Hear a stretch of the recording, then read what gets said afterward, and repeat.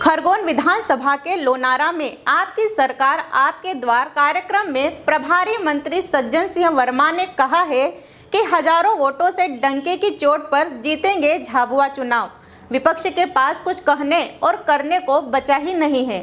साध्वी प्रज्ञा पर तंज कसते हुए कहा कि बड़ा समय का ध्यान रखते हुए प्रधानमंत्री मोदी और अमित शाह राम मंदिर का केस कब चलाना है और कब पीछे धकेल देना है। बड़े कलाकार लोग हैं ये। और हिंदू मुसलमान को बांट के लाभ ले सके। वही स्थिति साध्वी प्रज्ञा ठाकुर की है। पता नहीं ये महिला कैसे सांसद बन गई।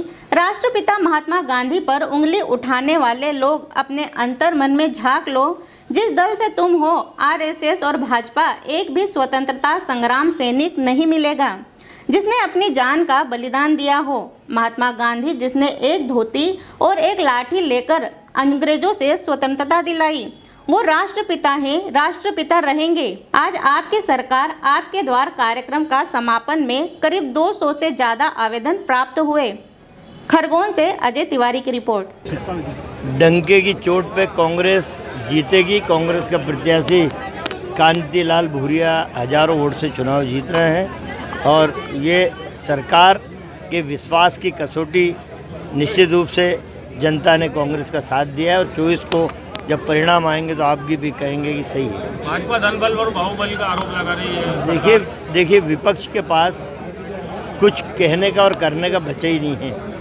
एक सही विपक्ष की भूमिका तो निभा नहीं पा रहे हैं भाजपा के लोग। सकारात्मक विपक्ष की भूमिका हो तो प्रदेश और तेज़ी से विकास करे। मैंने अपने भाषण में कहा कि एक ऐसा मुख्यमंत्री मध्य प्रदेश को मिला है कमलनाथ के रूप में जिसे तमाम सारे केंद्र के विभागों का अनुभव तमाम पद, केंद्रीय पदों पर रहे हुए व्यक्ति का विजन हमें मध्य प्रदेश की धरती पे मूर्त रूप लेते हुए दिखेगा। यदि ऐसे व्यक्ति का हम सकारात्मक विपक्ष की भूमिका निभाते हुए साथ दें तो ये अभी तो बीमारू राज्य शिवराज बोलते बोलते थक गए। मैंने बीमारू राज्य की श्रेणी से निकाल दिया। जिस दो लाख करोड़ का कर्जा जिस प्रदेश पे हो, वो बीमारू राज्य की श्रेणी से कैसे निकलेगा, ये कमलनाथ निकाल के बताएँगे। एग्जिट पोल बता रहा है महाराष्ट्र और हरियाणा में एक तरफा बीजेपी की सरकार बनने जा रही है।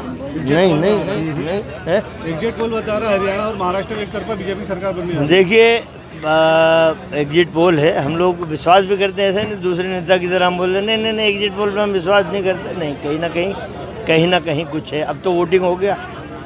वोटिंग हो गया ना डब्बे में बंद हो गया भाग गए। पर ये सही है कि कहीं ना कहीं हमसे थोड़ा सा बीजेपी आगे है।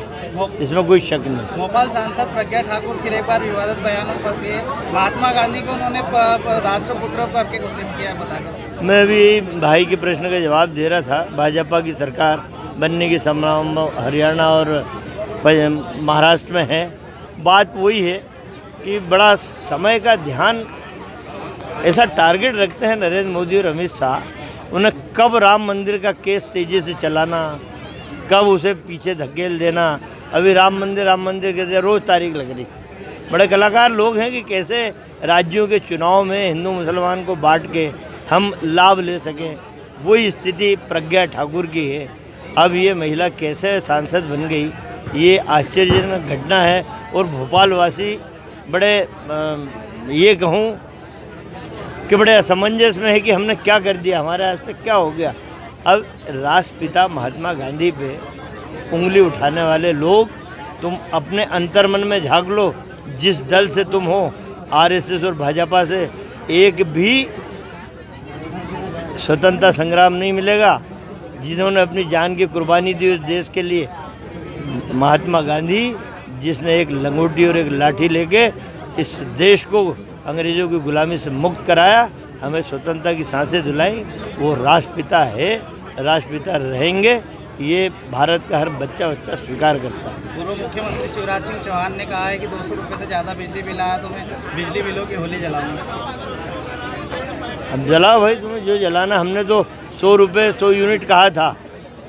कल परसों हमने निर्णय ले लिया कि नहीं सौ भी नहीं नब्बे ही रुपये लो। हम तो सौ यूनिट के नब्बे रुपये कर दिए कल हमने। तो अब क्या जलाएँगे होली? कोई दम नहीं है उनकी थोती बातों में। हमारी सरकार दमदार है। किसानों को बिजली भी देगी, गरीब के लिए घर भी बनाएगी और नौजवान के हाथों को रोज़गार भी देगी। हेलो फ्रेंड्स आप देख रहे हैं हम